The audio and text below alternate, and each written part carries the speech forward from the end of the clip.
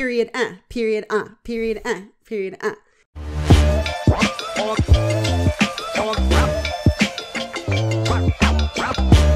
Hello and welcome back to the Croak and Crow podcast. I am Spencer Cartier. I am Chucky. Cheese. No, the king. And this here is Frank, the lumberjack. And um it's a good day to be alive. How you doing? How are you doing? I'm doing fine. How are you? I'm doing great, thank you. thank you for coming to the How funny would that be? You ever see these like silly little gimmicky things? If you just did have a podcast and every single day you just said hello to each other. That's it. And then you And went then- off? Yeah, it was like, and people would stumble upon, upon the channel and Right. say, "What is this?" Yeah. I don't know. Some sometimes those work and sometimes they don't. And you never know what would what what appeals to the people.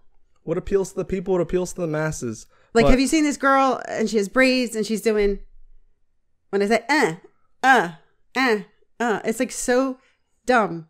But everyone is stitching it and they're just loving it. And it's like you would never um I think it's pe- period uh period uh period uh period uh Period ah, period uh, period ah, period uh, period ah, period uh, period ah, period uh, period ah, period uh, period ah, period uh, period ah, period uh, period ah, period uh. and you just can't you can't um predict. You can't predict. So- Lightning in a bottle. But we do have new new subscribers, so uh, We have new subscribers. Well, you know, we do have to say hello to each other. Yeah. Hello. Uh, you know, the in mass, they have the welcoming and they hug. No. Well, in mass, when the how you doing? How you doing? Peace be with you? no. Now you now turn to your neighbors and say what's up. That's peace be with you. yeah. It's not welcoming. It's not hugging. And I'm Do some churches not hug? uh people hardly handshake anymore because of germs, but uh and also they don't say peace be with you. They say peace. Yeah, they do say peace be with you, but they s- uh, they don't say also with you. They say with your spirit. Oh. Well, it's never really. I, I feel like I never even say anything. I just got that thin-lipped. Well, now you can do that because, like I said, of germs, people just look around and and they head nod. But some churches, I'm guessing, will will hug afterwards. Yeah, I don't like it, and maybe I should. Like, maybe that's part of it. Is like you need to be more comfortable with it. But it make it's like one of these things that uh, in the beginning of school when they have icebreak go around the room icebreakers. It just feels like that at a church. The hugging or the peace peace giving. Yeah, it's like I sort of pretend like hey, we're all in this to not talk to each other, but, but then I guess you know if church is a community, then there's that. No, there's something for everybody. There's something for everybody. Somewhere for ev- everyone, I guess. Everything has a place, and everyone has a home. Not everyone. um, but yeah, it's uh, golly gosh, we're just mid September. What day exactly? In the twenties, In the twenties. it's the week of the twenties. You know what? I think it might be the first day of um, might be the first day of fall, Okay. right? Yeah. Mm-hmm. First day of fall. Yeah. Autumn. Autumn. Autumn. Autumn. Is that the, the the true name for it?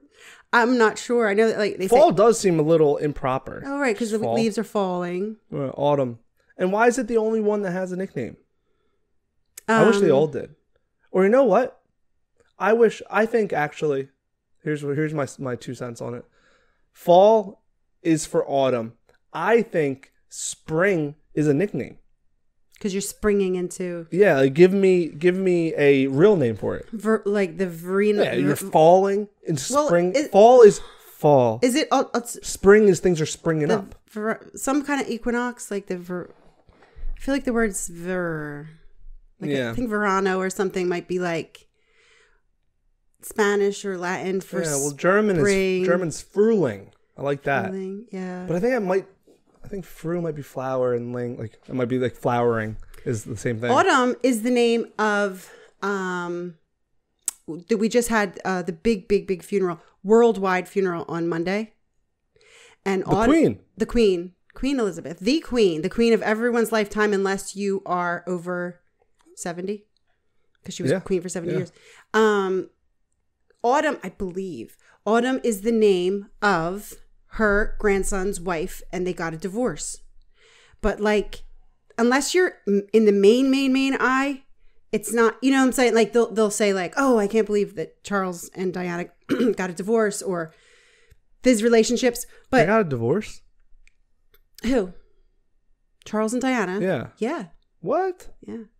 I thought she died when they were married. No. So that's why they sent the hit.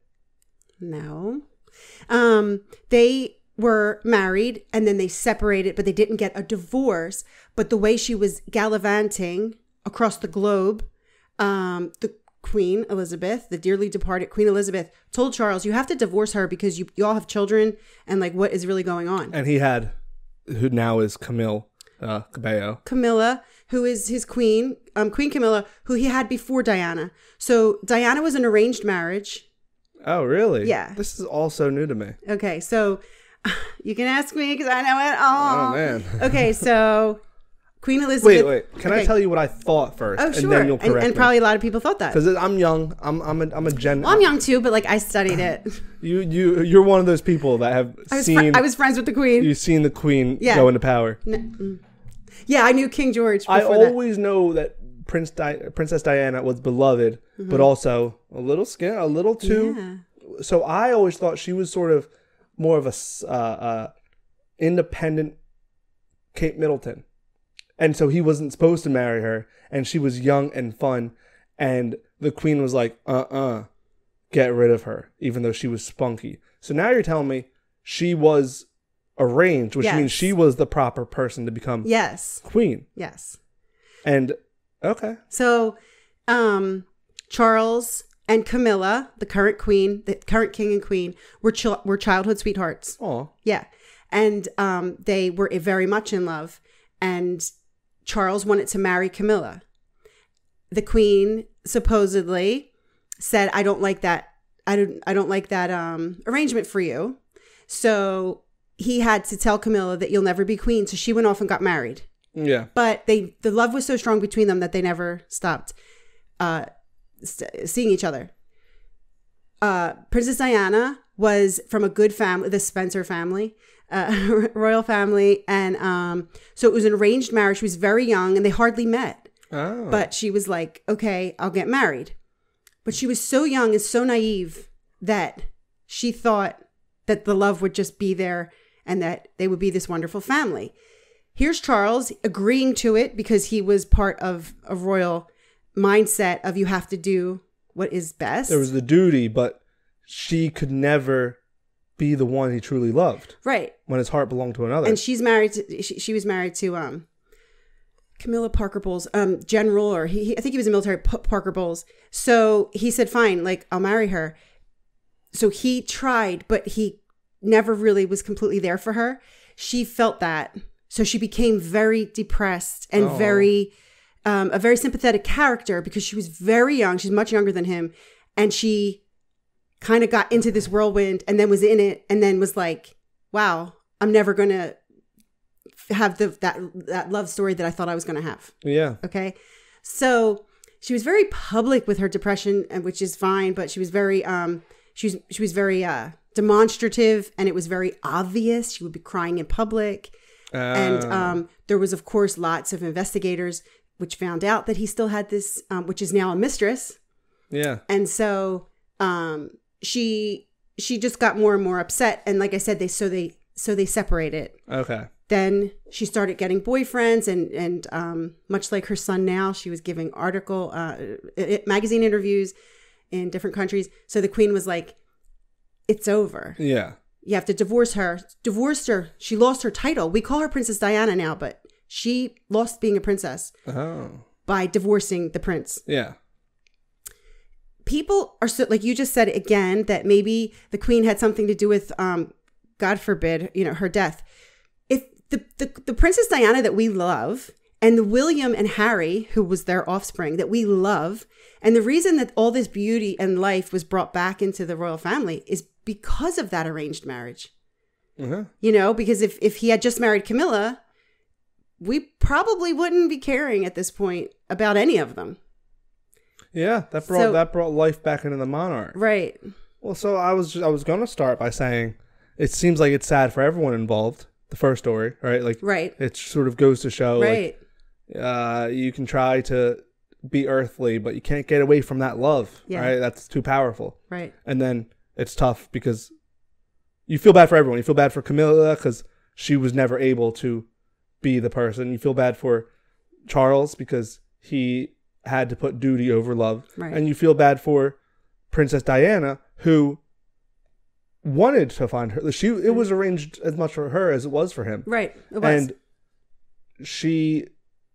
he he at least had the benefit of feeling love and not being able to have You're it than to feel what or to think what you're about to ha- ha- think what you're going to have is love and then it's not. Right. um and to imagine that your life is going to be that now. Because i think that's a lot like especially with the arranged marriage stuff i'm not a, a big person for like uh you only live once. But it's like things like that where you really think about it. Like that's it if you go through Yeah. life only caring about duty then you'll your life will, will come and go and you'll never be able to experience certain things like Right. finding love but then back to what you just said there is so much beauty that was created from it Right. besides the passing of, of princess Diana, Diana Diana.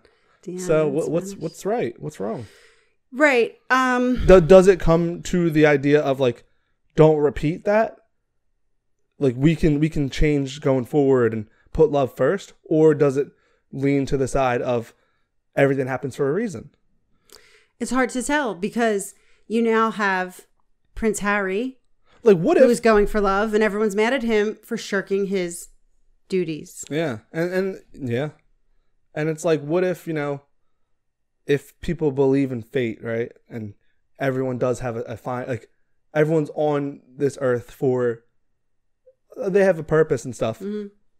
If you look at the end situation, in a way, everyone, everything did work out, right? Like Right. the the love of of Charles and if you take out any kind of um secret murdering of, of Diana Right. make it all just happen huge coincidence maybe Diana was only ever meant to be on this earth for 29 years I think she was. She was. it's probably in her forties. before she was called back to heaven Yeah, she was definitely in her forties. and so she had children and she had love Charles and Camilla had a marriage I don't know I, also feel weird about saying like you were meant to die no, she wasn't meant to die. But but when you say like you know maybe it was coincidence she died, it's not. It- she didn't. She didn't wake up dead or drink her tea and fall over. Uh, there was no social media at the time. yeah Okay. And even when you see old videos of Diana and she's she's talking and she's saying it's so hard to be so looked at. it's so hard to be on the cover of every magazine. It's so hard to have photographers chasing me.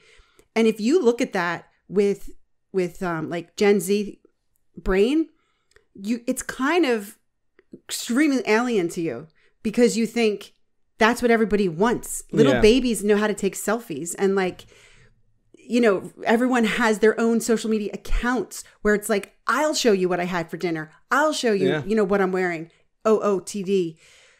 At that time, that did not exist. So, um, twofold yeah, yeah. one it, it didn't exist and so you were the only person that was being looked at right. and two what is happening now with it is in a way countering counter happening what was happening then which is this is who you are every we had a whole brand a brand podcast that was about like your personal brand right. and now it's let me show the world who I am and who I want to be. With the royal families, you know, um, for the people who like don't, you know, you have your your your Harry and Meghan Markle and Princess Diana. It was you can can you imagine being in a role and then that look what you're wearing, look what you're doing when none of it's even your choice. Right.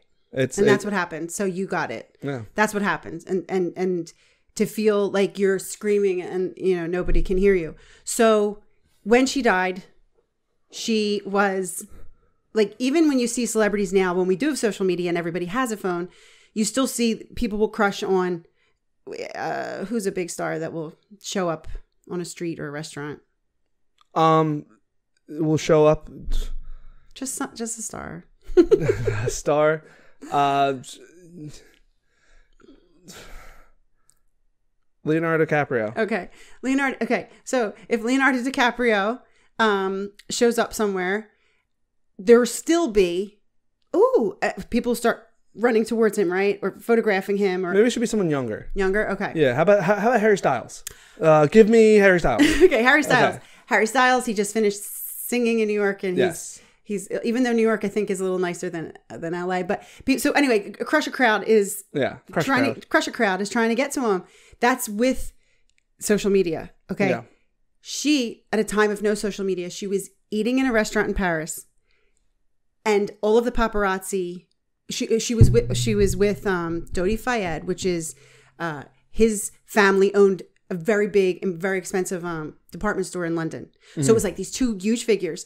So the the pictures are going to sell if I can get if I because I have a camera. People don't have camera phones, but I'm, I actually have a camera. If I can get a picture of Princess Diana with Dodi Fayed, I'm going to get paid a lot of money, right? So all of the photographers were crushing the restaurant. She ran out the back door. She got in her car, you know, with the driver and, you know, and started zooming. The people were undeterred. They're chasing her on motorbikes and cars, trying to get a shot because it's money. It's it's like running, you know, when um, you know, someone's throwing money out of the car and like, Yeah. you know, everyone's pulling over. Like it's it was trying to get money. The driver was intoxicated. He drove too fast. He went around a curve under a tunnel in Paris. He crashed the car. So that's quite a very intricate setup. Yeah. But but people just hear like, oh, I heard the queen had something to do with it. And it's like that's I I don't know the truth, but it just seems so reasonable that she was in an extremely dangerous situation. Yeah, and and if anything, right, like you know, there was pop, like everyone knew where she was and stuff. Right. I think it would be more suspicious if it was she was alone on her island and- Right. and, she had a cardiac arrest. Right. But to plan, Which she has which there were pictures before that, which I think she was on his yacht alone out at sea and like some paparazzi had taken like telescope telescopic Yeah. lens photos, you know, and she didn't accidentally drown or anything. yeah, So it's like and it's one of those things where it's twofold. People say, "What a coincidence that it was in a tunnel that no one saw," and it's just you know, but you could equally switch it and say the reason of the coincidence was why it happened. It was in a tight tunnel Right. where there was no room for error right, driving. Right. You know, uh, if you are driving fast and pull too far to the right on a on a big road, Right. you go onto the shoulder. Right. If you pull too far into the right in a tunnel, you're hitting the side. Right. All right. I've I no longer think she was killed. Yeah, so my original thing, Autumn is um, one of her, her uh, Peter is her oldest grandchild. He's he's now in his forties. Her the oldest grandchild is like forty four, I think, which is Peter, and he just divorced um, Autumn. Her youngest grand Queen Elizabeth, her youngest grandchild James, he's fourteen, so she has a big span of um, age there. But grandchild, yeah, grandchild, Uh, okay. So and then and then there's great grandchildren. Okay. Yeah. Um. Wow. Yeah. So we are turning into the royal. Uh, Yeah, well, it's just um something Croak you know. and crown. Oh, I like. It's it's um it's it's okay. Any other time it would be niche. How do you say that? Niche? I say niche. I think that's how you're supposed to say it. I say niche, and I'm sure that's wrong. Yeah. But any other time it would be Just niche. say drowned with the D at the end. Me? Yeah. I know. Um, but at this time, when you had 500 world leaders come to her funeral, I don't think that's niche. Ni- niche. That's something that'd be hard to ignore happened in the world. Yeah. And she was an extreme Christian. Extreme Christian sounds like an extremist.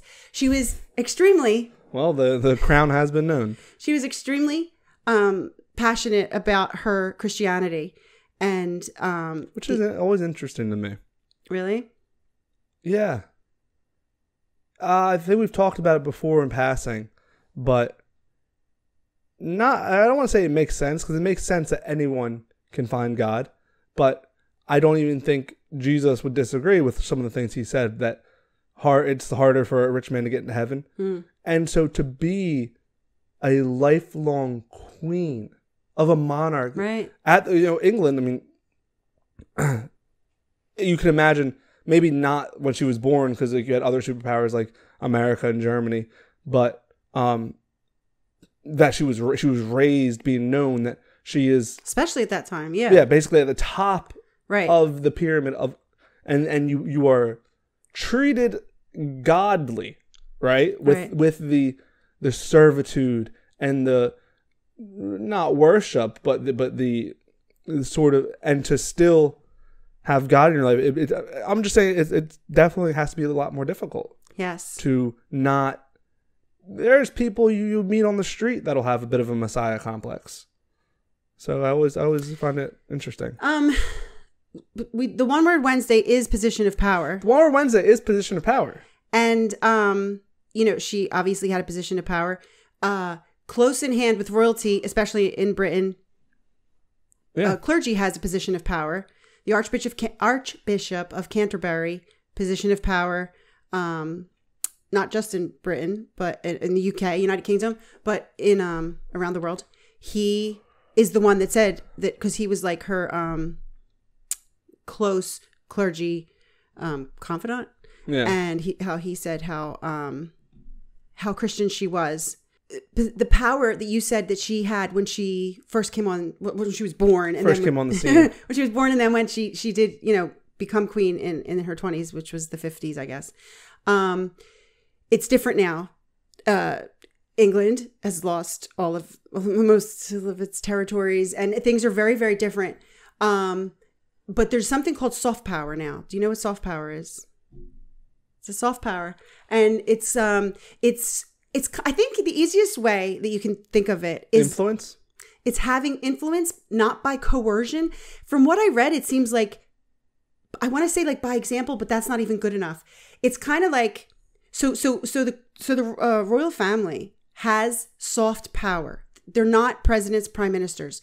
But because because of their culture and their i want like i keep thinking the word example but people want to follow them. People want to be like them. People want to invite them. And it's called soft power because you are um, instead of coercion it's co-op or something.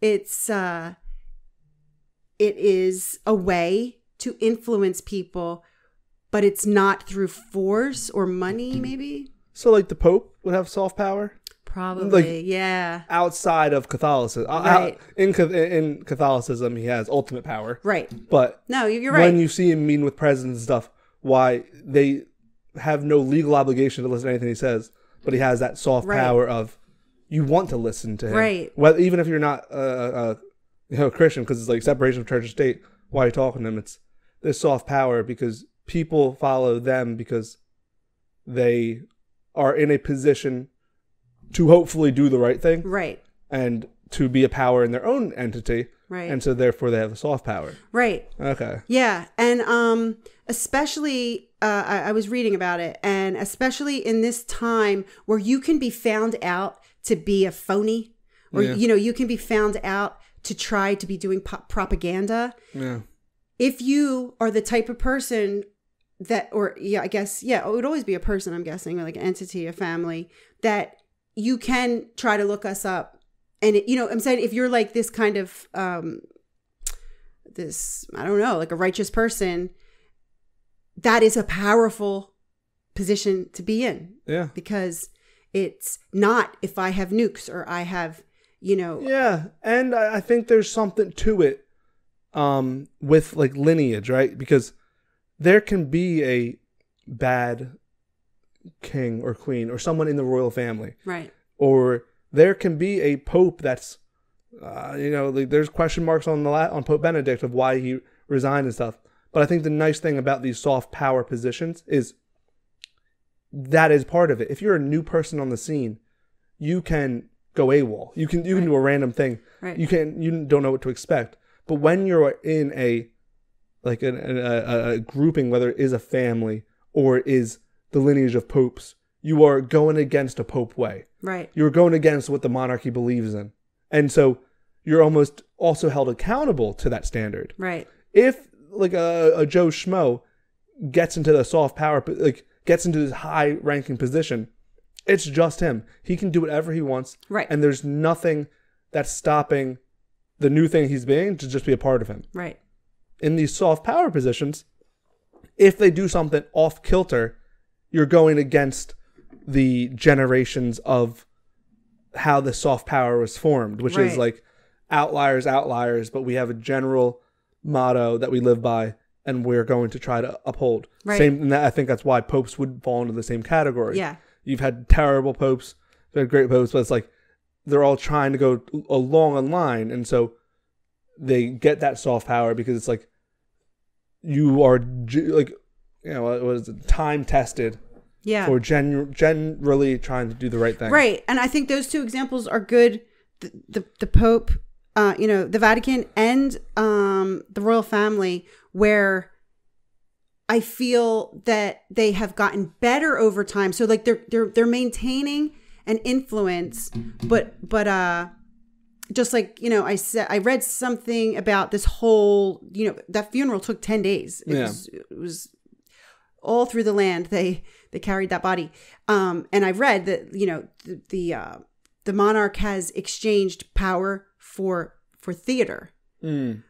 but i would i would counter that with and same thing with the pope i feel that they they value the power enough that they are changing you know because because the vatican you know the used to be more violent and and and as did the monarchy Yeah. but Yeah. Is it a why is this still around? Or is it this would always still be around, but they are now seeing we're meant to take a step back. Right. Popes are no longer running Europe Right. with an iron fist. right And is that because uh, they don't have power anymore? Or is it because they still have that power and progressively are using it in a way of or not that you you learn from generations before you right um, and you you see you want to uh, go away, and is a part of of knowing what to do with power, not using all the might of it. right you know? yeah and i think i think a lessons can be learned for everybody in in um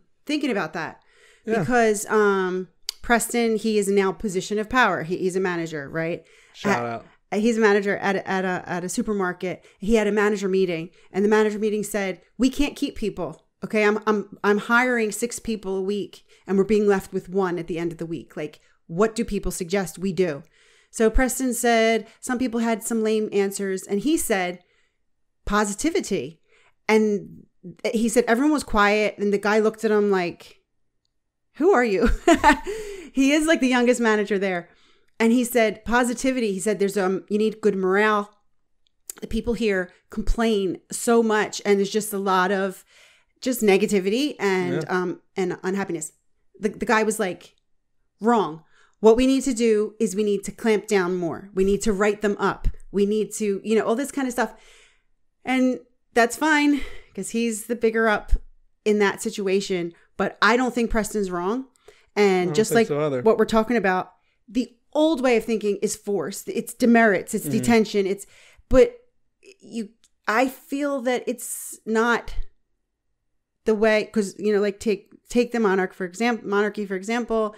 They don't they no longer have power but they still have influence not because they're threatening people. No, and I think I think a lot of the threatening is fear based. Yes Right? You, you threaten because you, you can't handle it well, you, you and you threaten because you think if you don't, you're going to lose. You think if you if you don't threaten your employees, they're going to take advantage that's of you. That's exactly what the guy said at the meeting they're going to take advantage. they will take advantage and, and it's it's it's all based in fear.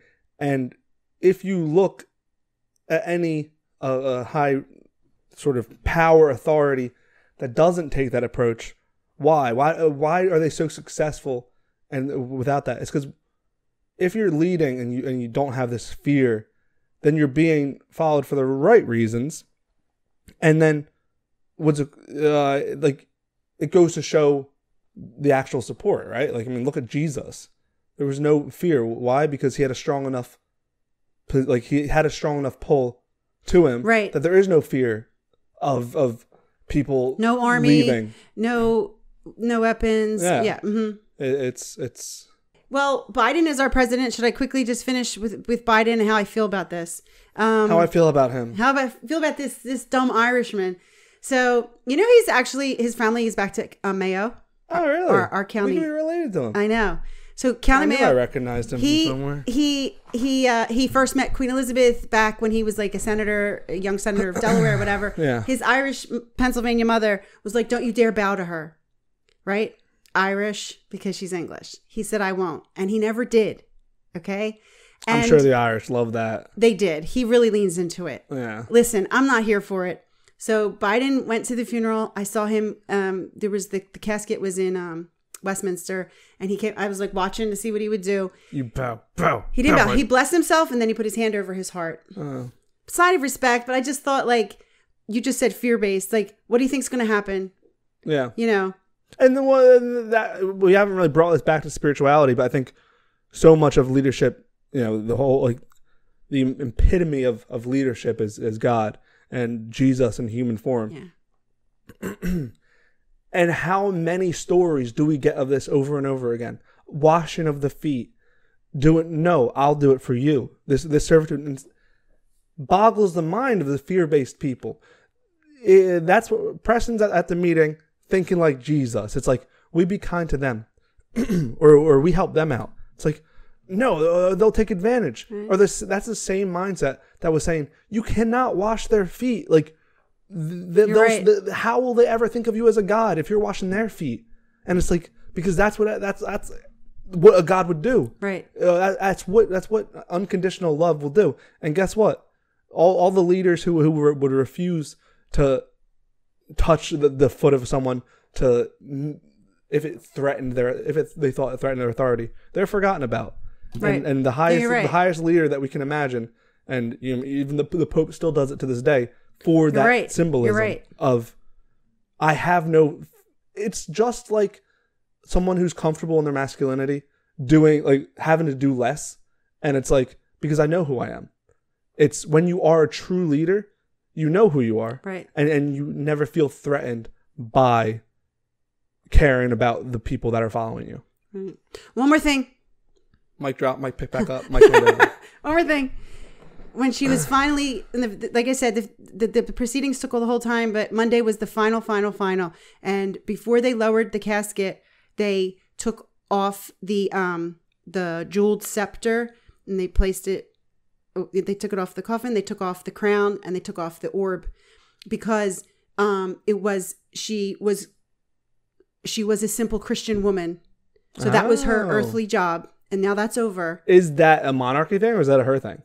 probably monarchy because you don't want to lose all your jewels, but it was still beautiful. Yeah, that's Yeah. nice. Yeah, yeah. And it goes back to how how do you live with being a queen for all the time and, Yeah. and God and it's And I think it's also good because for the people watching, Charles who's next, and then William and then George, this is just this is just a job that you came into and you'll pass out of.